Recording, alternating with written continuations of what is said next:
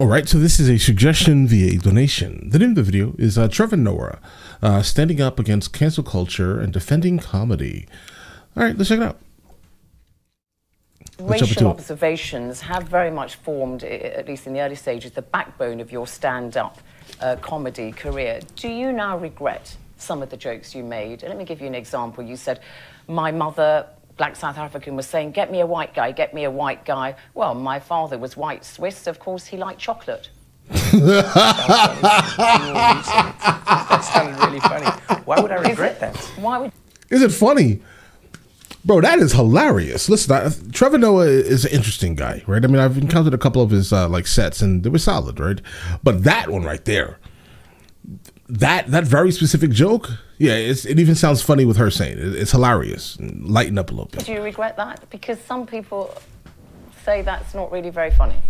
But Who the are these some people? Everyone can say something is not really funny. It's just the way some people don't But like is it more than that? Okay, let me give you an example. We have a, a very well established black comedian in the Britain called Lenny Henry. And he has said that he regrets doing that kind of joke where he said he would wipe his sweating brow and say, huh, I'm leaking chocolate. He's Oh, but, that, but that's different. But that's different. Well, it's not, it's using Oh my chocolate. God. But is that but that is different. Well, the let- Swiss love chocolates Right? is not a term. Listen, I'm sorry. I'm sorry. Both of them were kind of funny, bro. I'm, that may make me a bad person. I don't know. Potentially. That You're is pe- referring to your mother's pejorative. skin colour as chocolate. What he Yes, said because my mom is Listen, guys, guys, listen, listen, hold on, bro. All right, my literal w- when my son was four years old, okay, he he walked up to me, he licked me, and said, "Ew, you don't taste like chocolate." Listen, I laughed my ass off then. All right, I don't know. I find it funny. I'm sorry. Maybe I'm just I I, I don't know, guys. I, don't, I don't. Maybe I don't get it, guys. Maybe I'm broken or something. That was hilarious to me. proud to Let be me dark, But no, I don't taste like chocolate, bro. beautiful chocolate. Yeah. That's what she's saying. and this is if you in the book I talk about this as well. I go, I saw people and race as chocolate. Bro, I got more jokes, guys. More jokes. All right. Bro, my wife's grandmother, right, asked her literally, is he brown all over? Guys, come on. We got jokes. She's like 90. She was like 90 years old, bro. All right. Just, under, just understand that for a second, okay? Uh, keep in mind, you know, my wife's grandmother, um, she probably, and I mean never, has been in the presence like in within like a household of someone who looks like me. That's that's that's a fact, bro. Right? Um 90-year-old woman from Granada, Spain. All right? Trust me. She, she had questions. I wasn't offended because obviously it's just pure like inquisitive nature of of people who look different than you. That's really what that is, guys. I wouldn't use that. When- I no, but wouldn't when I- use that. no, no. I, I'm that colour, and when I wouldn't grew up- say that. listen, but- when I when I yeah. grew up, when I grew up, I believed that all people were chocolates. My mom was dark chocolates. My Right. dad was white chocolates. Uh-huh. I was milk chocolates. Okay. So I see So all you people see that as funny, but do you not as realise that some people might not like that? And Lenny Henry went man on said, to "I say see all people as chocolates." about how he was leaking chocolate. He says, "I knew there had to be a better way of trying to put the message over, putting your jokes over, without having to pick on people because of their colour or because of their race." Not picking on but His- people, his bro. View, his view is different from yours. Because he's Lenny Henry and I'm Trevor Noah. Right. He But he's talking- also he's black. Yes, but he was talking about leaking chocolate, implied. She said she just said, "Oh, but yeah, but you guys are both black." Listen, generally people who are deeply melanated are are definitely not like a monolith. There are all types of dark skinned people from all around the world, guys. Um, people in in in in uh in Nepal, guys, they're they they're probably darker than Trevor Noah, guys. Um and then you have people in India who are darker. Um, what exactly are we, are we talking about here, right? I mean, um, dark skin is not like specifically unique to Africa, guys. It's just not. Um, maybe the phenotype is potentially, but overall dark skin is just not, right? Uh, so when you try to say and try to paint every single deeply melanated person into a literal box, which she, for some reason, um, is trying to put everyone in a box, bro. I have my lived experiences are absolutely different than Trevor Noah's, right? Um, and also absolutely different than any other person that looks like me, right? Um, she seems to be playing the victim a little bit, guys. and I'm not really a fan of, of just consistently playing victim, bro. But either way, Trevor Noah. Yeah, He but was he's talking- also he's black. Yes, but he was talking about leaking chocolate, implying that his skin color was not something that belonged to him. That is a different He's not. joke. He's That is just a trying to different say idea. that his skin color is No, no, chocolate. no, no, no. You're splitting hairs here. No, no, but that is exactly what we should be doing. Because what you're doing Okay. is creating. I'm not sure I You're would- creating I'm not racial sure jokes. I would say No, Flip you're it on her. What you creating said. monoliths. You're creating monoliths of jokes, and that's not fair to do. Every single joke has a context. Every single joke comes from a place. The most important thing with comedy is context. Right. Without context, no conversation is complete. Without context, no communication can But truly somebody could take that out of context. Ex- yeah, and you've so said. I'm putting it to you then. Are you not, given what Lenny Henry said, are you not guilty perhaps with some of your routines or a joke like that, uh, reinforcing prejudices and promoting stereotypes in the minds of people who may be inclined to think like that, and then they'll think, oh, Trevor Noah says his mother's chocolate, I'm going to go around saying that to my black friends, and they might take offence. You could be reinforcing prejudice. bro, you could be doing anything if you are not doing the opposites. How your uh, action is implied oh, he's good, guys. He's good. define what you were doing. Okay, let's look at another aspect of race. No, no, no, no, no, no, no, no, no, no, no. He flipped it on you. You have to answer. moved just Make a statement. years ago to the United States. Your, your routine as a comedian um, often mimicked Africans and also African Americans. And about African Americans, you have said this You are not African, but we play along. It's a very loose term, African American, because half the time you use it for people who aren't even African. Bruh, listen. Firstly, let's go ahead and point this out here. Um, if you are from America and born in America, I'm sorry, you you are American. Right, that, that's just what you are. I don't like the hyphens, because if you want to start giving people hyphens, then everyone need hyphens, bro. All right, so that's just what it is. Um, you are absolutely American. Uh, my ties to Africa are zero. I don't have any ties to Africa directly, guys. Um, not like that, at least, right? I mean, obviously, if you go back into my my bloodline, um, I come out to be 38% West African, coming from specifically Togo and Benin, um, which is obvious because that's where um, the people of basically Ghana were selling um, Africans. That's what that that's that's the reason, right? Um, so yeah, guys, my my direct tie to Africa is absolutely horrific, guys. Right? So, um, but yeah. Anyway, but long story short, I don't really have any. Yeah, I'm American. All right, and if you're watching this and you look like me, and you're born in America, you're just plain all American. All right. Um, I don't like the hyphens. Let's get it. very loose term, African American, because half the time you use it for people who aren't even African. As long as you're black, they say African American. I didn't deliver it like that. You're not doing my jokes justice. Okay, all right. Yeah, that was- I'm that was trash. And I'm not a comedian. No, no, no. But The way you see, did it. That's, but, But, no, I'm no, just no. asking, are, are they not African American? Here's the here's here's what you're missing. Is she picking apart every single line of his jokes right now, guys? What you're doing right now is the equivalent of me saying, "Now it's raining more than ever. Uh, I'll be here with you forever. You can always be my friend, standing under my umbrella. Ella, Ella, Ella, Ella, Ella, Ella, Ella, Ella, Ella,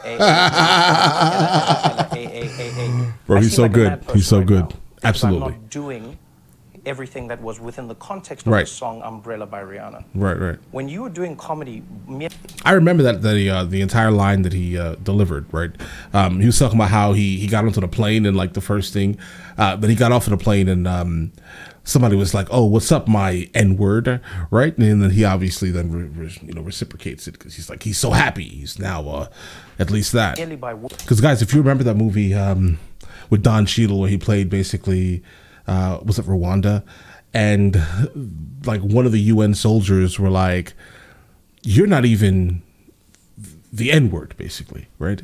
Uh, you're an African, right?" Um, th- that's kind of the thing, guys, right? words. I spoke it. My eyes, Most likely that he was playing on- with an audience is completely different.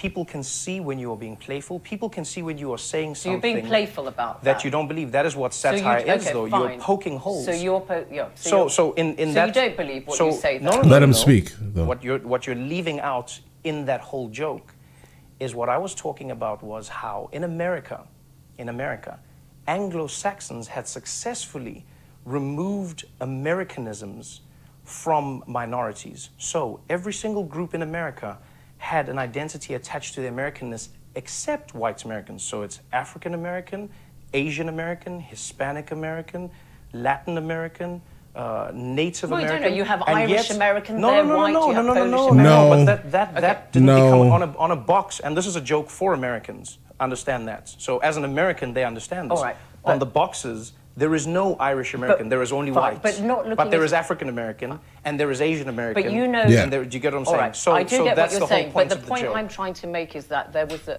Bro, I just put other and move on. a shift amongst the black American community to start calling themselves African American. They didn't want a Yes. definition by default. Bro, that was Jesse Jackson. Stop, don't don't say it's a shift between like specifically all African Americans. That was specifically a for the most part a race peddler. That's what that is. That's where that came from. All right. So let's you know have some intellectual honesty. here. i.e., you were not white, so therefore you were black. Yes. They wanted to have a hyphenated identity that linked them with the continent Mm-hmm. of their ancestors. And therefore, when you say, oh, they're not really African, they're playing along, you cannot disconnect what you say from this debate that's really, uh, you know, captured the imagination uh, of the African American black and She's literally talking about my subgroup, right? And I'm telling and I'm saying the exact opposite of everything she's saying. American Yes. community. And also, point I, I don't like to the make to you separating thing, guys. It's weird. It now feeds into a debate that's current in the United States. For example, Kwame Kwei-Armah, the Black Britain theatre director in the United States, says he has Okay. conversations with African Americans now who are saying, we want to go back to being called Black American because we don't have anything in common with this recently arrived African Americans, Uh-huh. be they Somalis, Nigerians. Right. I'll absolutely take black American for the most part. If you would ask me, like for example, um, what- if ever I'm asked, uh, like outside of the country, um, I'm outside of the country a lot, right? So, where are you from? Well, I'm well, I'm just an American, obviously. But then if um, if they get deeper, um, uh, you know, I, I'm obviously black American. I'm American. That's that's it. I don't really like the. The I have no ties to to Africa.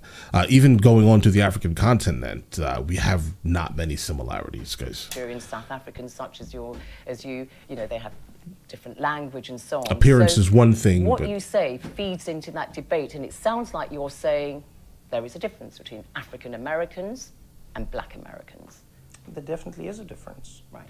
But these are differences that can be celebrated or used to separate people. Noting differences does not implicitly make it a bad thing. Right. When you are noticing differences, you can note them for good reasons. It's the same reason we notice different colors or we notice different flowers. That can be a good thing. If you're using it to celebrate, you can use that same thing the same way apartheid did to separate people. When you talk about African Americans, the one conversation that I was talking about was I was traveling America and I was going to a lot of universities, and I came to realize in many universities in America, the conversation you're having right now, they had, they had an African American uh, student body. And very quickly they noticed a shift because they could not lump black people into a monolith. They could not lump, because there were people from the Caribbean who said, We're not African American. There were people from Africa who were like, These are not our views. We are Africans in America. So There is that's a difference. interesting, yeah. And so what Yeah. people themselves did was they said, You can't just lump us into this group. Fine. And does that difference mean that it doesn't Fine. act as a cohesive form? Because I'm thinking in 2019, No, Chimamanda there, there is there there is no cohesiveness um, within Black Americans. There there really isn't. There really isn't. There's none. Um, I don't even you know. She for some reason thinks that every single person that is considered black within the borders of the United States of America is the same exact person. I think that she thinks that there's some type of unity. There's there's like no unity. There's there, I don't know, right? It- It's just not it's not there like that. Um, and specifically when people are coming from apps, like he's saying, if they're coming from different countries with different cultures, uh, not really, bro. There just isn't. There's none of that. Ngozi Adichie, the celebrated Nigerian author, it's sad. said that when she visited the U.S., she felt that her African American classmate was annoyed with her because she didn't share their anger, and she said that she was not burdened herself by America's terrible racial history. That difference does it result in the African Americans who've arrived recently in the United States, such as yourself, acting differently or having a different psyche from the black Americans who were the descendants of slaves and of Okay, that is the thing, absolutely, right? Um, but it's not something that, that matters like that. Mm, it, it matters. It matters a little bit, I will say. But I do think that when Africans from Africa come directly to the Americas, they do a lot better than um, black Americans that have been here, uh, that have been that that were descendants of slaves. Absolutely, they do because they had nothing. They they don't have a similar a similar past, right? Um, but keep in mind, like there's a lot of there are a lot of black Americans who are not in that very specific situation. Yes, the past happened. It did, right? But that's not a part of the daily thought process, right? If that makes any sense. Like me, I, you know, I, listen. The only thing that has held me back in life is me not wanting to get up. If that makes any sense, right? Uh, and what I mean by that is like, there's nothing really. I can't think of any blocks that have blocked me from from like success in kind of like anything that I've really done, other than me just not doing it, right? Like so I would say the hardest thing about starting something is starting it, just the starting aspect of it. Like getting over the concept of allowing the vict this, like weird victim mentality to just just like break you and, and, and conquer you. Right. And I can definitely say that uh, unfortunately there's a lot of like, you know, black Americans who are are who are just caught in this like web and it's it's it's sad. And this is why when Africans do come, mainly literally, when Africans come to America, they dominate. All right. And they dominate in like every field that they enter into because they have had a different lived experience and they are not just inundated with this like this overbearing victim mentality. Lived for many, many years, obviously, in the US. Well, I will say this I will be careful to not uh, comment on the experience of every single person because I'm only myself and I can only experience the people that are. Thank you for saying what that. I do know is this: in terms of our racial histories, South Africa and America are very similar. Well, uh, specifically, I'm not referring to really specifically South Africa, um, because most of the um, most of the times, if, I, am to encounter an African within the borders of the United States, they're probably going to be from West Africa, uh, mainly like Nigeria is normally where we'll see a lot of like Africans. When I talk to a black American person, there are many stories that we share as human beings. There are many oppressions that we have, have experienced through our uh, selective, uh, you know, uh, oppressors. Um, I think those are the things that many people can relate to across the board. So there's more to unite, even though you say there, there are definitely more to unite, especially yeah. when you are being oppressed as a group. Because you must remember, when you are in the U.S. as a black African man, I can tell you now that if you have an encounter with the police, they are not going to split the hairs. They're not going to say, "Excuse me, Trevor. No, are you from South Africa yes, or are you doesn't, from that, Detroit?" That doesn't happen. No, that right. doesn't. Racial. Guys, I'm not really a fan of the the, uh, the interviewer. Guys, I don't know. Um, maybe she's good in like something else, guys, but the fact that she just kept trying to go back to just like victimness, guys, it, it stresses me out a little bit to encounter. Um, but yeah, he's definitely, you know, he's a really good person to interview because I don't think that he's uh, easily swayed, right? I mean, he's extremely sharp mentally, and that I think uh, absolutely helps uh, his cause, let's say, right? Um, but all right, guys, listen, you guys all have an absolutely amazing day and enjoy your day thoroughly. Definitely let me know in the comments also exactly what do you guys think.